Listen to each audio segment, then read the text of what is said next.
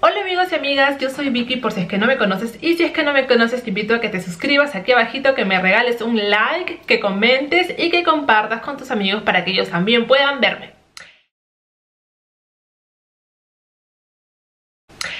Bueno amigos, el día de hoy voy a hacer un video un poco fuera de lo que normalmente hago porque me habían escrito muchas personas eh, preguntándome sobre este tema, sobre qué había pasado con mi ex, eh, porque yo siempre menciono que es algo tan feo, una etapa tan fea en mi vida, entonces creo que es momento de contarlo, eh, me siento preparada para contarlo, eh, no porque me haya seguido afectando, sino porque creo que eh, de esta manera voy a poder ayudar a algunas personas que tal vez estén pasando por lo mismo que yo he pasado. Esto también influyó mucho en que yo creara este canal de YouTube, puesto que cuando yo creé mi canal yo tenía muchas ideas en la mente y también estaba pasando por una etapa muy linda de mi vida que es la que ustedes conocen, ¿no? La que yo he compartido todo este tiempo con ustedes, que es la vida con mi esposo eh, continuo, que él es suizo, yo acá en Suiza y bla bla bla, todo el tema. También porque eh, quise como que la gente, transmitir como buena vibra a la gente para que se pueda distraer si es que está pasando por momentos tristes o si es que está, no sé, tal vez en otro lugar viviendo solo, tal vez pueda eh, sentirse como parte de mi familia porque así yo lo siento a todos ustedes. Así que ese también fue uno de los motivos de que yo creé mi canal. Les voy a contar un poquito de o sea cómo empezó toda la historia con mi ex. No, em, no voy a mencionar su nombre exactamente porque no quiero como que se sienta, él sabe muy bien quién es eh, y las personas involucradas saben muy bien quiénes son, así que no quiero mencionar nombres en este video. ¿Cuándo empezó la tortura? ¿Cuándo me di cuenta que algo estaba mal pero yo no quise verlo? O sea, tal vez no me di cuenta, solo cuando empezó la tortura. Cuando ya estábamos más o menos tres meses, los primeros tres meses de relación fueron como normales, fueron como mariposas en el aire, pajaritos en el aire, todo muy lindo. Entonces, he aquí cuando lo que yo les quiero contar para que ustedes no cometan el mismo error que yo cometí. Todo era perfecto, que ay, cuchicuchi, para aquí, para allá, ¿no? Entonces, cuando pasaron los tres meses, me acuerdo que estábamos en un centro comercial y no me, no me acuerdo con exactitud, la verdad, qué había pasado, pero yo me puse como que, no, pero esto no, pero esto sí, como que no quiero ir para acá, ¿no? Algo así, él como que, vamos ya, no, así todo loco. Y yo dije, ¿qué le pasa, no? O sea, sacó su, su, su forma de ser como muy, por primera vez lo vi como muy agresivo, su forma de responderme. Entonces yo como que me asusté. Entonces, bueno, dije, bueno, estará enojado, ¿no? Y a partir de ahí yo me acuerdo que ya él no tenía temor de gritarme como antes de, de, ese día, de ese suceso. Antes él como nunca me gritaba, nunca me trataba mal, nunca me hablaba feo, nada. Yo reconozco que a veces las chicas solemos ser un poco engreídas, no todas, pero es porque a veces nos gusta engreírnos con nuestros novios, hacernos las niñitas, no, no todas, yo soy así. Entonces, eh, sí, a veces nos engreímos, pero tampoco eso tiene que dar pie a que alguien o un hombre te trate como, como se le da la gana porque simplemente si no le gusta cómo eres te dice no me gusta cómo tú te comportas o por último no continúa la relación. Si le gusta una mujer más madura o más como que no se comporte como una niñita pues perfecto termina la relación y ya córtala ahí no pero no continuó. Días después yo me fui dando cuenta de que sus actitudes eran extrañas. Por ejemplo que te pregunten eh, oye te puedo hacer una pregunta sí claro eh, y con tu ex, ¿tú qué has hecho? Y yo, ah, lo que se hacen con los enamorados, besarte, no le quería dar detalles. O sea, ¿cómo tú con una nueva relación te le vas a querer dar detalles de tu anterior relación? Eso no está bien, no es lógico. Entonces yo no quería darle detalles. Entonces él comenzó a preguntarme y a obsesionarse locamente con eso, ¿no? Y me preguntaba, y yo no le quería responder. No, dime, me decía así, dime. Y yo, no, ¿por qué? Pero, ¿por qué me preguntas eso? No, dime ahora. Entonces yo no le quería responder y me agarraba del brazo fuerte y me decía, dime. Y ponía una cara de loco que me decía, dime, ¿qué te tocó? ¿Dónde te besó? ¿Qué hiciste? ¿Qué no hiciste? O sea, llegarte a preguntar qué posiciones hiciste. O sea, por favor, ¿no? Me hizo que le confesara primero eso, si yo ya había estado con un chico, yo le dije que sí, una vez, ¿no? O sea, con mi anterior ex enamorado. Entonces eh, me preguntó, eh, como que posiciones y esto y aquello. Entonces, ¿cómo me vas a preguntar qué, te tocó, dónde tocó, qué posición hiciste? O sea, es algo ya, pienso que enfermo.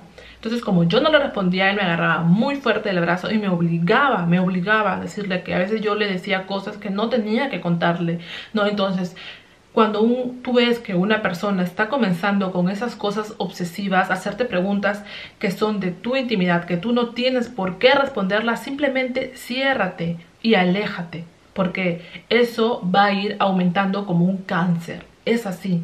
Y todo fue al final peor, porque yo no lo quería ver. Al principio yo pensé que de repente eran sus celos y hasta decía, me quiere, por eso como me cela, ¿no? Y a veces uno puede pensar que qué lindo los celos. Los celos son lindos hasta un límite. Cuando comienza ah, ya la enfermedad, ahí hay un problema y tienes que alejarte. Y lo peor era que cuando yo terminaba de contarle esas cosas, yo me sentía mal, me sentía terrible, me sentía sucia, me sentía una persona asquerosa. Entonces, ¿qué hombre que te quiere te va a hacer sentir eso, no? Bueno, y yo empecé también a enfermarme, porque las personas que están enfermas también te enferman a ti. Esa es la pura verdad. Es como una manzana podrida, si se junta con otra se van a podrir las dos. Bueno, otra de las cosas que yo eh, recuerdo muy feas que pasé y no las voy a enumerar todas porque son un sinfín de cosas. Solamente quiero decirles, les cuento este pequeño ejemplo para que se den cuenta del grado de enfermedad que la cual era mi relación. cuando yo iba al gimnasio, porque un tiempo estuve yendo al gimnasio, eh, entonces yo quería entrenar, ¿no? Para verme bonita a mí misma también. Me decía, pues no, ¿qué vas a ir? ¿Prefieres ir al gimnasio o prefieres verme, verme a mí? Habla. Y a veces uno en su ceguera dice, pero, pero no, no, no, entonces no, entonces no te veo, te veo hasta la próxima semana. Entonces tú te pones a pensar y dices, ay no, mejor de repente no lo voy a ver, entonces mejor lo veo a él. Entonces ya empezaba a chantajearme psicológicamente, ¿no? Y como tú estás enamorada, cegada, entonces no te das cuenta de lo que te están haciendo en la mente, ¿no? Inclusive yo tengo una amiga que seguramente me ve, que es una amiga que quiero mucho, Brigitte, tú me estás viendo. Una vez yo con ella, eh, ella escuchó cuando una vez eh, me trataron feo por teléfono, me insultaron eh, horrible porque yo no quería, no me acuerdo, solo no quería contestar o estaba ocupada, no me acuerdo qué pasó. Y él me empezó a insultar y me empezó a decir la palabra fea, ¿no? Entonces, ok, que te digan fea, bonita, gorda, flaca, una persona que a ti no te interesa, te debe dar igual, hija, te debe dar igual. Pero cuando te lo dice tu pareja, ahí es realmente doloroso. Entonces, cuando yo me puse a llorar porque me dijo eso, le conté a mi amiga, con, o sea, le dije eso a mi amiga porque mi amiga estaba presente ahí conmigo y, y yo me vio llorar. Y mi amiga agarró el teléfono y le dijo su vida pero yo no quería que ella le diga su vida porque yo quería, todavía tenía la esperanza de que, de que él este, se, disculpe. No, mira mi mente, yo quería que él se disculpe para yo automáticamente perdonarlo. O sea, estaba yo también enferma. Todas estas cosas eh, hacen que tú no te des cuenta que lo que estás realmente viviendo, haces que tú creas que esto es normal, que lo que estás viviendo, hace que que tú quieras que se disculpe después que te hizo algo, en el fondo de tu corazón tú tienes el odio, cuando te hace eso tienes el odio en ese momento, pero al final tú estás buscando que esa persona se disculpe para que tú lo perdones y todo, entre comillas, vuelva a iniciar como borrón y cuenta nueva y no va a pasar. Eso solamente va a ser un círculo vicioso que van a estar 2, 3, 4, hasta 5 días bien y después van a volver a caer en lo mismo. Porque me fue infiel y lo perdoné. ¿Tú estás viviendo esas cosas? ¿También has perdonado infidelidades? Seguramente que sí has perdonado infidelidades. Yo también lo hice y fue muy malo. Eso, chicas, no lo hagan. Creo que una relación para que sea buena se basa en la confianza. Si una relación no tiene confianza, definitivamente esa relación no va a funcionar. Porque aunque muchas digan sí, pero el perdonar es humano. No, o sea, yo no digo que no puedan perdonarlo. bueno, si ustedes quieren perdonar y ustedes confían en que esa persona puede cambiar o mejorar o no lo va a volver a hacer, bueno, es cosa de ustedes. Seguramente que de 100 hombres, uno no lo volverá a hacer, pero el otro 99% lo va a hacer de nuevo, definitivamente. Y yo cometí ese error. Pasa que este joven había terminado ya una relación con una ex enamorada pero parece que esta ex enamorada se había quedado todavía enamorada de él y yo había iniciado una relación sin saber con quién había estado él. Entonces yo fui inocente de todo eso. Resulta que cuando él empezó conmigo, esa chica me empezaba a llamar a mí. Entonces eso también fue un plus a toda la enfermedad de mi cabeza y de la relación, de esa pelota tóxica en la que yo vivía. me empezaba a llamar, me empezaba a amenazar, que me iba a pegar, que me iba a buscar, que yo era una pepa, pipa, pupu. Eh, porque yo me había metido en su relación, pero yo no me había metido en su relación, yo había comenzado una historia nueva. Y, la, y él era, era tan inteligente que hacía que yo confíe en él. Me decía, yo no quiero nada con ella, que no sé qué, que no sé cuánto, que este, si quieres la llamo en tu cara para que tú escuches. Y literal, cuando ella la llamaba, porque antes que yo me di cuenta, yo veía que una chica la llamaba, pero él siempre como, ah, no, de, trabajo, de trabajo. Pero tantas veces una chica de trabajo no te va a llamar, ¿no? La negaba. Hasta que un día me contó, me confesó, entre comillas, y la llamó, le dijo, ¿sabes qué? Tengo una enamorada, no me moleste, que no sé qué, que no sé cuándo. Y tú, te, tú suspiras y dices, ay, me defiende, me ama, me quiere. No, es una más de sus tácticas de, los, de ese tipo de hombres. Entonces, eh, esto era constante, ¿no?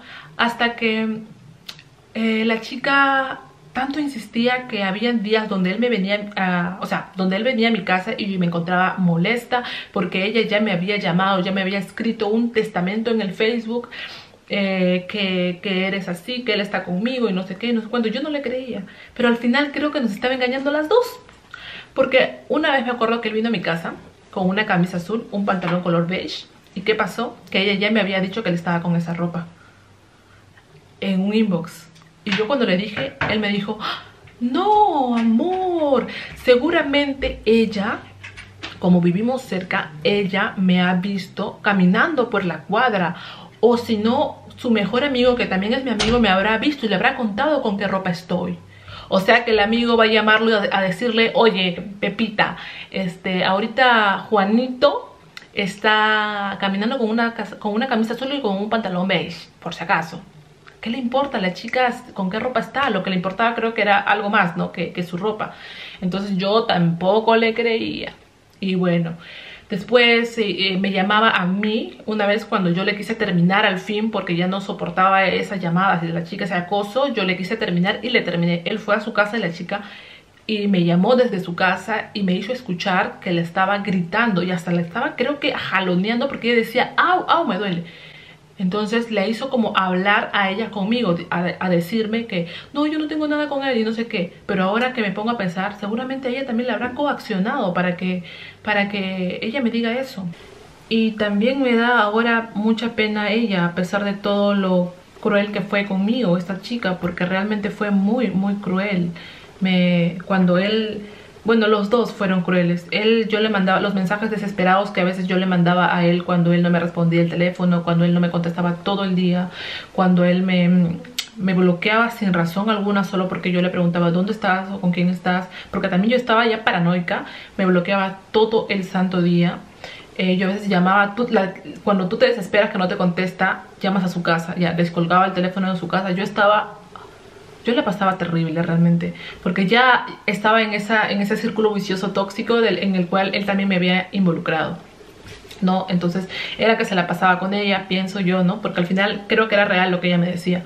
Y un día me manda ella screenshots de lo que él escribía de mí a ella. Le decía como todas las cosas desesperadas en mi, en mi momento depresivo que yo le escribía a él, él le mandaba todas las conversaciones a ella. Imagínate lo humillante que fue para mí eso. ¿No? Y cuando yo le decía a él, le reclamé eso a él, eh, él me decía, no, que ella seguramente, la muerte, ella seguramente sea del teléfono de una amiga lo ha registrado en su teléfono con mi nombre. Entonces ella ha hecho que su amiga le mande ese mensaje para que ella te mande ese mensaje a ti. Mira cómo maquinaba. Y yo al final le creí, amigos. Así estaba de mal mi relación y yo no me daba cuenta. Yo estaba total y completamente enamorada, pero realmente eso era una obsesión enferma, porque a pesar de todo lo que él me hacía, yo siempre volvía con él, yo siempre lo perdonaba, yo siempre hacía todo lo que él me decía.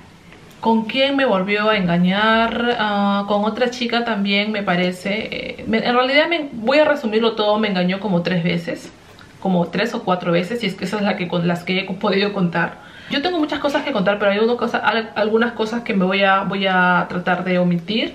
Solo sé que me ha hecho cosas muy feas, ¿no? Eh, eh, me, asumió, me, me una depresión muy fea, me humillaba, me decía cosas muy horribles. Yo bajé de peso 10 kilos, literal, o 11 kilos. Estaba hacia una, un, un palito. Creo, tal vez deje una foto por aquí. Este, y lo triste es que a veces la familia, la misma familia, o sea, tu familia nuclear siempre va a, estar ahí para, va a estar ahí para ayudarte. Tu mamá siempre va a estar ahí para ayudarte. Y tienes que hacer caso a lo que te diga tu mamá, tu papá. Ellos tienen razón, porque a veces, a veces uno no se da cuenta o dicen que solamente odian a tu pareja, o que odian a esto, o que no te quieren ver feliz. Pero no, ellos están viendo la relación desde afuera. Ellos están dando cuenta. Entonces, hazle caso a las personas que están ahí para darte buenos consejos, pero que ellos están viendo lo que tú estás pasando. Yo fui bajando de peso, bajando de peso por tanto llorar, le lloraba a él muchas veces por teléfono y no le importaba, eh, rogaba porque, porque me hablara a veces y bueno, esas cosas no debes hacer. ¿No? Entonces, volviendo a lo que estaba diciendo, hay algunas cosas que no quiero contar porque cuando tú estás pasando por esas cosas, para, a veces suena muy repetitiva. Tu familia va a estar ahí, nuclear. Pero las personas que están afuera de tu familia, inclusive la misma familia como primos o tíos, como en mi caso, eh, a veces no es que disfruten, pero hablan. Hablan mal de ti. Hablan cosas como si a ellos nunca les fuera a pasar o a sus hijos nunca les fuera a pasar o a ellos nunca les haya pasado. Entonces yo prefiero por eso omitir algunas cosas porque no quiero que saquen provecho, porque sé que ven mis videos, no quiero que, saque, no quiero que saquen provecho de lo que yo estoy contando ahora, por eso eh, voy a tratar de omitir algunas cosas. Si quieren me pueden escribir al Instagram, al Instagram eh, al, por DM y yo les puedo contar como mucho más eh, extendido y mucho más a detalle. Bueno, eh, ¿Qué hice yo? ¿Yo fui una santa una víctima? No, no fui una santa ni una víctima. Ojo que yo nunca lo engañé, jamás le engañé ni le fui infiel con nada, pero sí me volví una celosa, paranoica, también obsesiva. Lo celaba hasta con su sombra.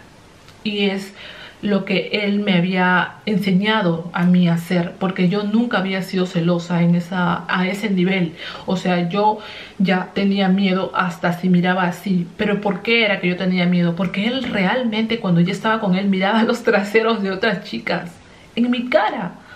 Hasta el punto que yo, tanto que lo hacía y tanto que yo lloraba y tanto que él se molestaba, me decía, yo le decía a él, bueno, pero si vas a mirarla, al menos al menos hazlo cuando yo no me dé cuenta. ¿Cómo le vas a decir a tu novio que lo haga? Pero que tú no te des cuenta. ¿Te das cuenta cómo estaba yo? ¿Te das cuenta cómo estaba yo? Entonces, tú no cometas ese error. Aléjate, vete, déjalo. Entonces digo que yo no soy una santa porque yo le hacía problemas a veces en la calle, peleábamos en la calle. Muchas veces eh, hicimos eh, problemas fuertes en la calle que que la gente volteaba y miraba qué pasaba y era porque yo estaba loca de celos, que había, ya, mira, ya había mirado el trasero de una persona o a veces me abrazaba para que, que yo, yo lo abrace inocentemente y él esté mirando a otra chica y yo a veces lo veía, ¿no? Veía que hacía así, o sea, cosas así. Entonces yo agarraba y me ponía loca, me ponía loca. Yo caí en depresión terriblemente y yo empecé a, a hacerme daño a mí misma. ¿En qué sentido? en que yo dejaba de comer, yo dejaba de juntarme con mi familia, de almorzar con ellos, de bajar, de todo. Mi mundo era él, el teléfono solo existía para él, me molestaba cuando otras personas me llamaban, había puesto un sonido de teléfono solo para él, para saber cuándo él me llama y me manda mensajes y cuando otras personas me llaman y me mandan mensajes, yo sepa que no es él, entonces no le quería responder o bueno, al menos no me hacía la ilusión que era él. O sea, imagínense. Entonces yo tampoco estaba bien. Muchas veces eh, él también hizo cosas buenas, ¿no? pero digamos que yo me dejé, em, me dejé embelezar por esas cosas buenas que, que hacía él. Sí, me volví más controladora, me volví un FBI, un perro sabueso. Eh, también creo que me volví un poco, em, no sé si asfixiante, pero era porque él había generado ya eso en mí de, que yo me vuelvo así, porque yo no era celosa. Eh, o también por las tantas cosas que me había hecho y que yo siempre lo perdonaba, ya siempre desconfiaba. Y ya yo estaba ya atormentada en mi cabeza. Por eso que digo, a la primera, chao. Y bueno, y también tenía un carácter, yo, yo en sí tengo mi carácter, tengo, soy geniuda, soy de carácter fuerte, pero yo para llegar a mi carácter fuerte, o sea, explotar, yo, a mí me tienen que hacer como llenar el cántaro, si no, no exploto algo así, pero normalmente no, no exploto, soy, tranquila y un poquito resentida, pero él hacía cosas pues que yo explotaba así, y bueno, eh, ¿Cómo terminé y por qué terminé? Muchas veces él sabiendo que yo lo amaba, él me terminaba y yo le pedía para volver, ¿no? Entonces esta vez, mm, y muchas veces pasó eso, eh, error, aléjate también. No dejes que él se dé del gusto de terminarte y que tú le ruegues, porque eso quiere. Llegó un día donde yo ya estaba curtida de tanto, ya habían pasado cerca de dos, años me parece, ya habían pasado. Y yo ya había pasado de todo con él, pues o sea, al punto de que a veces me agarraba, yo estaba tan flaca que me agarraba el huesito acá y me decía, ay, estás tan flaca, no te queda bien la ropa, estás, te, te ves tan... O sea, me humillaba. ¿Y por qué crees que hacen eso? Para que tú pienses en tu cabeza que nadie más te va a mirar y solamente estás con él y que deberías agradecer. Eso es lo que realmente te dicen cuando te dicen estás gorda, pero estás muy gorda, pero estás muy flaca. Y así eres linda, así eres bella. Entonces déjalo, ¿qué hace contigo si estás tan flaco, si estás tan gorda? Déjalo. ¿no? Pero no, no permitas que esa persona te siga humillando porque si estás flaca, si estás gorda, si estás cachetona, si estás potona, que no les importe, bueno, que no, que no te importe eso, vete de su lado, vete, no te quiere. Eh, bueno, voy a volver a la pregunta, ¿cómo terminé? Entonces, como, como les decía, yo estaba tan curtida, tan curtida, que un día yo estaba en el cumpleaños de un primo mío y este, él trabajaba, me parece, bueno, trabajaba en un lugar donde yo conocía a una de ellas, ahí. Entonces yo por Facebook, entró en mi Facebook así y todo el día no me había contestado para esto. Entonces eh, yo agarro y entro al Facebook y en un live de Facebook que hace una de las personas que trabajaba con él, creo que era el día de... era una festividad, no me acuerdo qué. Veo en el video que él estaba bailando, haciendo este sanguchito con dos chicas, ¿no? Una adelante, una atrás, pero estaban bien pegaditos bailando. Entonces yo en toda mi enfermedad de loca que estaba celosa, yo a mí me pareció que ya estaban teniendo tres hijos, ¿no? Entonces yo, me, yo lo vi, ¡ah! Con razón no me había contestado todo el día, dije, ay, que no sé qué. Entonces, cuando llegué a mi casa, no, creo que vi el video cuando estaba en mi casa. Entonces cuando vi eso, me cambié, tomé un taxi y me fui hasta allá.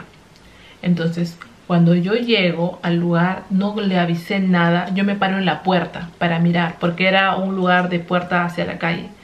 Entonces me paro en la puerta y lo veo a él bailando con una señora como de 50 años. Pero estaba la señora bien conservada, o sea, la, cara se le veía que ya estaba señora, pero estaba con el cabello pintado. esa señora que se cuida bastante, ¿no? Pero se nota que es una señora ya pues de 50 años, ¿no? Y la veo que estaba bailando hasta una bachata, pero de una forma que ya no era como de una señora y un joven de 26 años y él ya había tenido antecedentes porque había estado una vez con, era enfermo, había estado con la mamá de su amigo sin que su amigo sepa o algo así. Entonces, eh, y me lo había contado, entonces yo veo eso y lo veo que estaban ya acá, así casi para besarse ya. Entonces yo llego, entro y le digo, tal, ¿no? Y él me mira y la señora me conocía y sabía que yo era su enamorada. Y la señora se, se asusta se asusta. Una persona que no está haciendo nada malo, ¿por qué se asusta?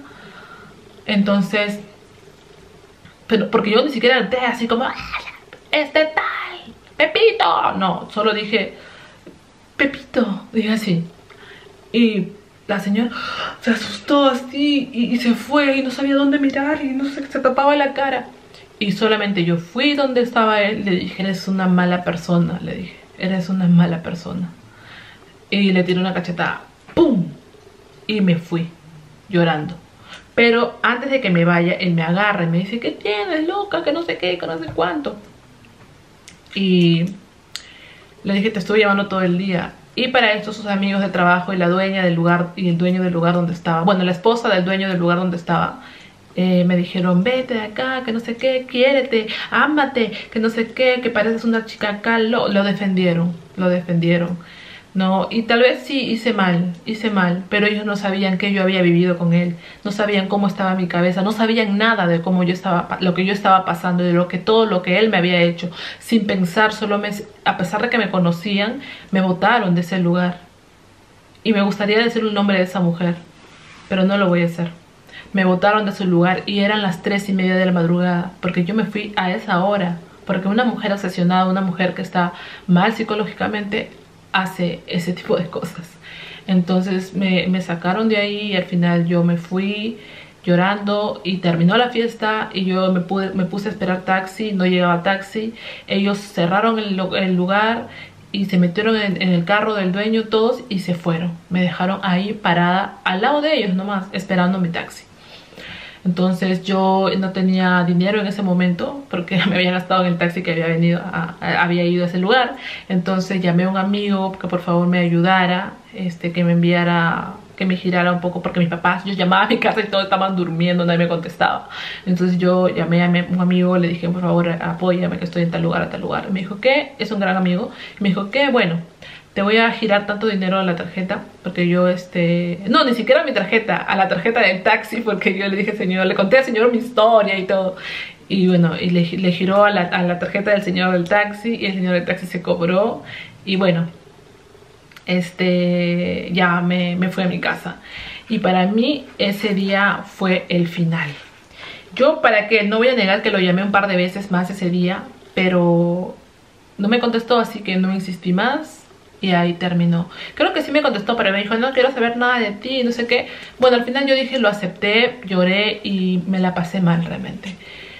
Me quedé, ese día para mí fue el peor día de mi vida, creo.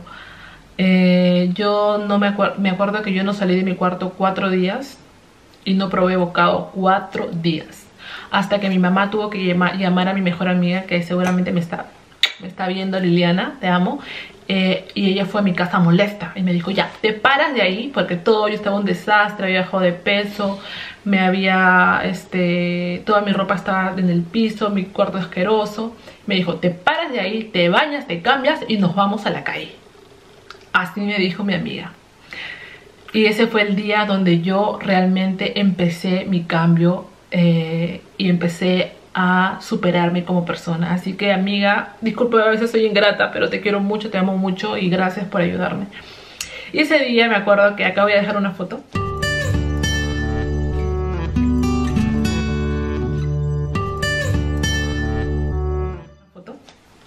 que yo salí con ella, caminamos por el centro de Lima, la pasamos muy bien, me di cuenta que realmente se podía eh, hacer como cosas lindas también fuera de esa relación y no solamente que ese es mi mundo, ese es mi todo, ¿no? Y yo fui realmente, ese fue el día que yo empecé a olvidar. Así que bueno, eh, yo te podría aconsejar que si te entras en la depresión, las personas que te van a ayudar son tu familia, tus mejores amigos y hazle caso, créeme, créeme que te van a sacar de ese hueco.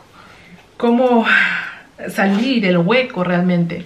yo salí de ese hueco terrible de depresión, eh, como les digo, el día que ella fue, pero también porque yo puse de mi parte.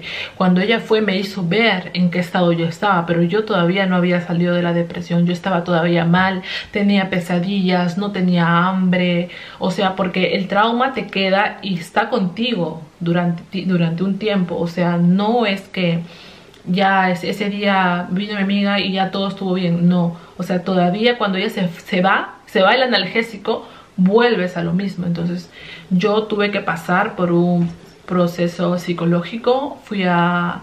Y no me avergüenza decirlo si alguien va a tomar eso como algo para disfrutar, porque familia mía, o sea, hablo de primos, eh, que no los considero mis primos, se han ah, tomado de ese problema que yo he tenido para burlarse de mí o para atacarme con eso, hasta una tía, como lo que yo había pasado. Y creo que eso es muy injusto porque eso cualquier persona lo, lo pasa. Así que no temas.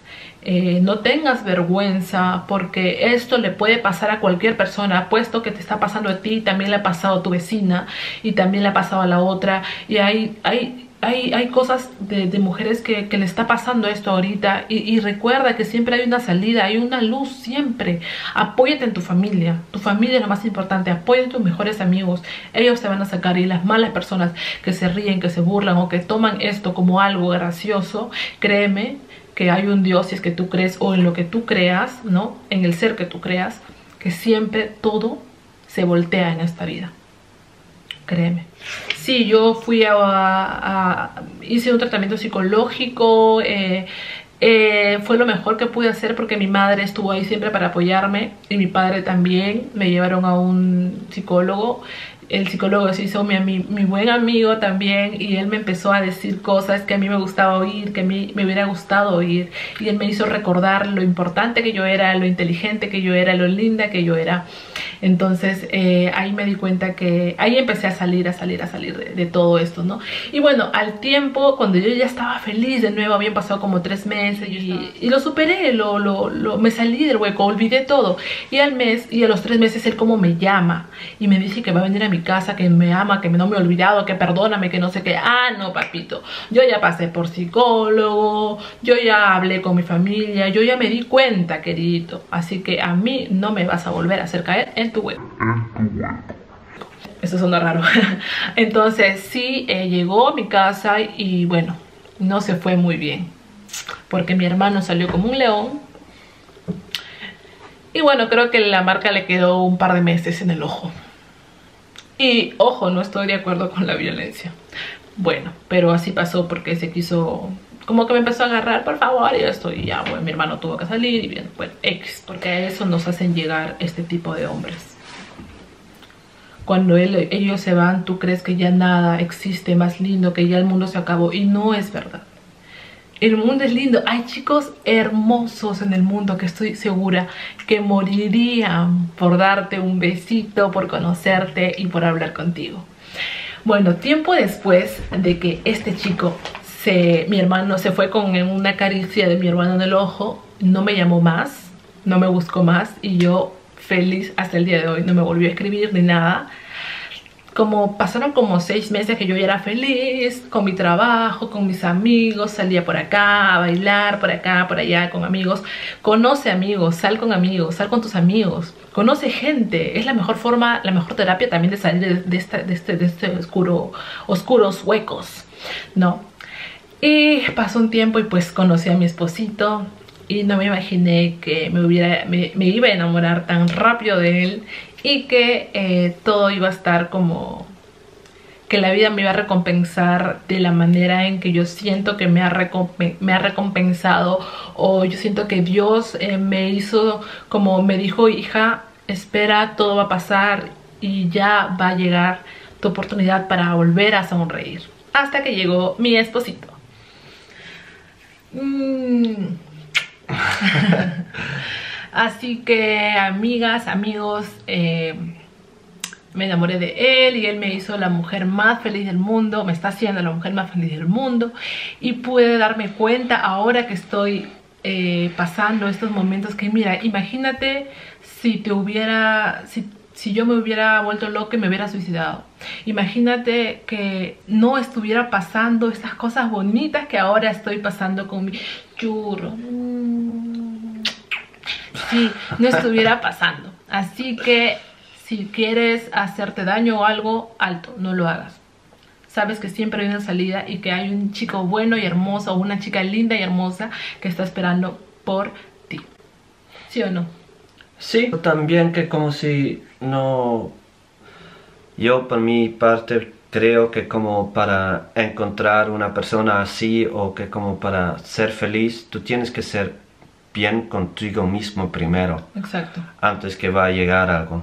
Curarte. exacto, y que como hay nada más bonito que, que como solo ser feliz, piensa feliz, piensa positivo, que hay tantas cosas que espero que, que todos que están aquí viendo esto, que son 100% sano y todo, y solo despiértate y que como despertar en la mañana y pensar que como qué bonito es, que como puedo caminar, puedo trabajar, puedo hacer todo lo que yo quiero y que como no hay nada y no vale ninguna persona que te hace sentir mal a seguir con estas personas. Exacto, exacto. Exacto. No hay nada más rico, no hay nada más lindo que tener una relación llena de confianza, que tú puedas eh, dejar que tu esposo salga, se vaya a una fiesta por último y no tener miedo que él te va a engañar. Así que amigos, amigas, tomen esta experiencia, mi historia como ejemplo de lo que no debes hacer y lo que debes hacer. Y si ya estás pasando por esto, tranquila, vas a salir de esto. Todo hay solución. Todo, en todo, para todo hay solución. Ve a un psicólogo. Ir a un psicólogo no está mal. Ir a un psiquiatra no está mal. Solamente lo estás haciendo porque te amas, porque quieres ayudarte. Y porque todas las personas en el mundo al final tienen algo en que, que tratarse en la mente. No todos somos perfectos. Así que no tengas vergüenza. Y si alguien se quiere burlar o agarrar eso para burlarse de ti, pues que lo haga. Y ¿Qué, ¿Qué, te importa? Tú te estás curando. Y esa y ya, salte de esa relación, no vale nada. Créeme que después te vas a reír. ¿Cómo pude ver a ese moticuco? vas a decir. Y sí, amigos. Al fin, lo único importante es que piensa positivo, piensa que como cada día es una nueva oportunidad. Exacto, nueva oportunidad y ya, solo seas feliz. Exacto. Seas feliz con todo lo que tienes, no siempre que buscas algo más porque es tan importante que también ser como en una vez que como humilde, pero también contigo mismo, que si tú quieres algo, trabaja por eso, pero no seas como yo quiero eso y solo quiero ser feliz con esta cosa, con esta Porque cuando lo consigas, vas a querer otra cosa. Exacto. Y nunca vas a llegar a ser Exacto, solo sea feliz piensa, que piensa que tienes y seas feliz con las cosas que tienes, porque Exacto. en cada parte del mundo 100% seguro hay una persona que tiene menos y quiere que tú tienes. Lo por que tú eso, tienes. Que, sí, que tú tienes. Por eso piensa que como solo sea feliz, que Exacto. solo eso es. Sea Exacto. feliz y piensa positivo y todo va a estar bien. Ahora, ¿cómo vivimos? Felices, Sí, tranquilos. tranquilos, felices. Y la chica esa la que me, que me torturaba, te digo, no me estés dando, dando like y de ahí quitándome like de los Instagram, que ya te vi, ya te vi. Bueno amigos, esto ha sido todo por hoy. Espero que te haya podido ayudar, que te haya gustado el video, que hayas tomado el video para poder mejorar algunas cosas en ti y que no cometas los errores que yo cometí. Y nada, eh, regálame un like, comparte el video, suscríbete y déjame tus comentarios ahí abajo para saber si te gustó.